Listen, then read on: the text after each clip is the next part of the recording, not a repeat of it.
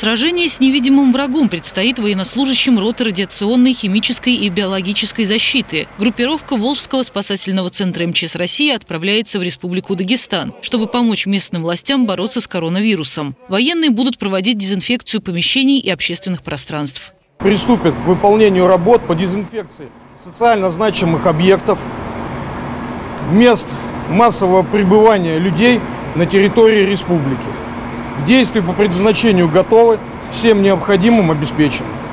В Дагестане сложилась тяжелая эпидемиологическая обстановка. В республике насчитывается порядка 4 тысяч зараженных COVID-19. Дагестан сейчас находится на пятом месте по количеству заболевших коронавирусом в России. Направить силы личного состава и спецтехнику МЧС на юг страны поручил президент Владимир Путин.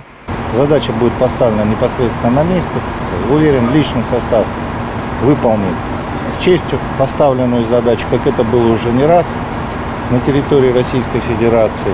Пожелаем ребятам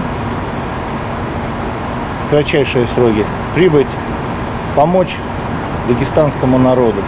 И после выполнения задачи мы ждем всех здесь, в Самаре. В Дагестан и Самары отправились 60 человек и 14 единиц техники. Добраться до места дислокации они должны в ближайшие дни. Лариса Шлафаст. События.